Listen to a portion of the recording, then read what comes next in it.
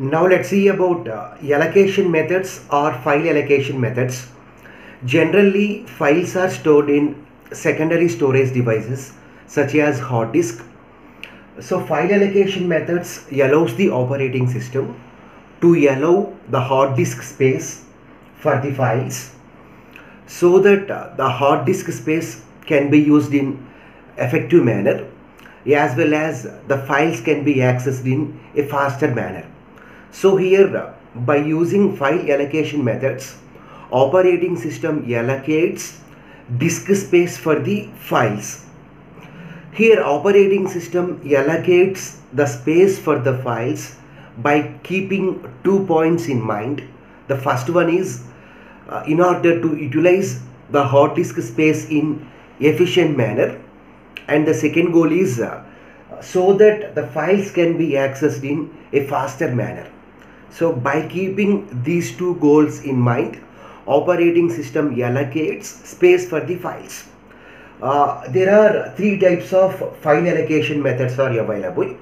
First one is contiguous allocation, second one is linked allocation, third one is indexed allocation. Uh, so let's see the first one, contiguous allocation. Uh, the name itself specifies the meaning. So in this approach, a set of contiguous blocks will be allocated for a file. Uh, let here, uh, let the size of a block is uh, 2 KB. Size of a block is 2 KB. Uh, let file name is A. Uh, let size of a file is uh, 20 KB. So what is the size of each block? 2 KB. Whereas what is the size of our file? 20 KB. So if you use a contiguous allocation, then totally 10 blocks needs to be allocated for A. 10 contiguous blocks needs to be allocated for A. Uh, let us assume that uh, the size of each block is 1 KB. Then 20 contiguous blocks needs to be allocated for name. Okay. Uh, so this is about contiguous allocation. Uh, so this is the hard disk as well as this one is nothing but file allocation table. Uh, so in hard disk we have uh, totally 12 blocks ranging from 0 to 11 okay so totally we have how many blocks? 12 blocks okay? So this is nothing but file allocation table. So file allocation table contains the information about each and every file that is stored in the secondary storage that is nothing but hard disk. Uh, it mainly contains three columns. The first column is name of the file second column is starting block number and the third column is length of that uh, file okay.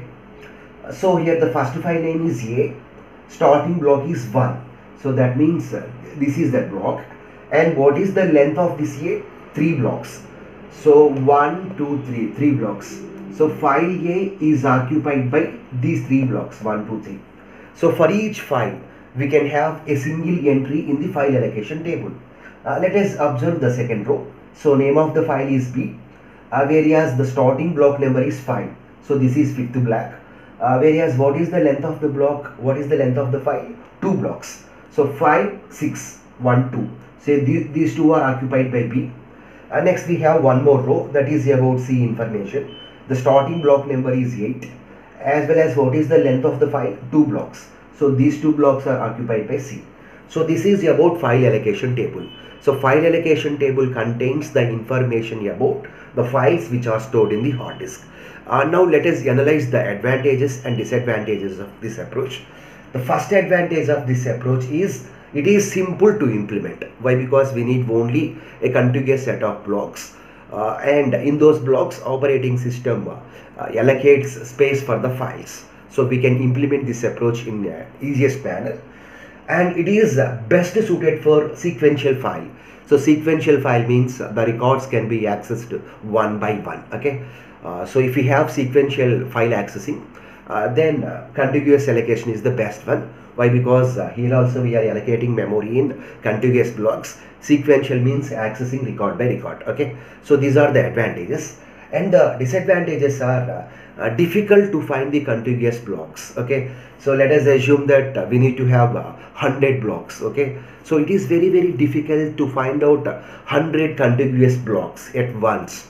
So that is the first disadvantage here. And the second disadvantage is external fragmentation. So we know what is external fragmentation. Uh, sufficient blocks are available in the hard disk, but they are available at different locations. The first five blocks are available at once. Second, uh, second five blocks are available at once. Uh, third five blocks are available at one more location like that. External fragmentation means sufficient free blocks are available, but operating system can't allocate those blocks for the file why? Because those blocks are non-contiguous okay? So this is external fragmentation. So this is the problem here. Uh, we, we know that uh, we can solve external fragmentation with the help of uh, compaction uh, but compaction is very very expensive approach. So in order to overcome these problems we can use the second approach that is linked allocation. Now let's see the second approach. Uh, that is linked allocation. Uh, it is based upon the linked list. We know what is a linked list here we can have uh, a collection of blocks uh, where in each block we can have a pointer field. So the first block pointer contains address of the second block. Second block pointer contains address of the third block. Third block pointer contains address of the fourth block like that. So we can say that uh, this approach is based upon uh, individual blocks. Uh, so let us observe this diagram. So this is nothing but our secondary storage device. That, that is nothing but hard disk here we can have 12 blocks from 0 to 11 so this is nothing but file allocation table. Uh, here the file allocation table contains three columns. The first column is file name. The second column is starting block number whereas the third column is ending block number. Uh, whereas in contiguous allocation in file allocation table the last column the last one is uh, length length of the corresponding file. So how many blocks does it occupy? Uh, whereas here the third column is ending block number so here name of the file is a.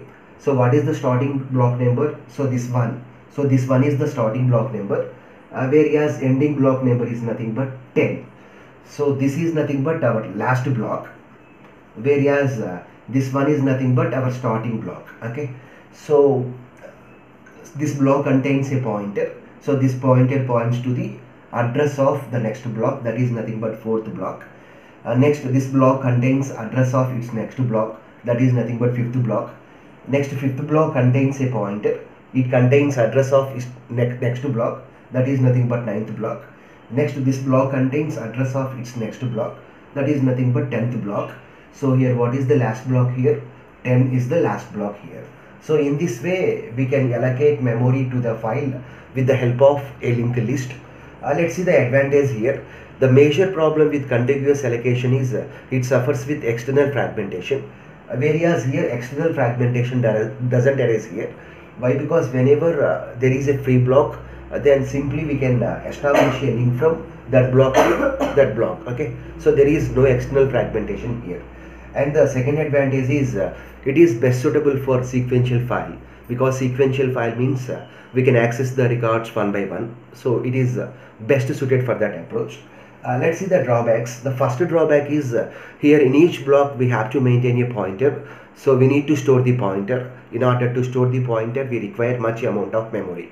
And the second problem is uh, it will take more amount of time uh, in order to perform the traversing. Uh, let us assume that here we have a linked list with 100 blocks. If we want to access the last 100 block then we need to access all its uh, previous blocks. That is nothing but 99 blocks so for accessing it will take more amount of time.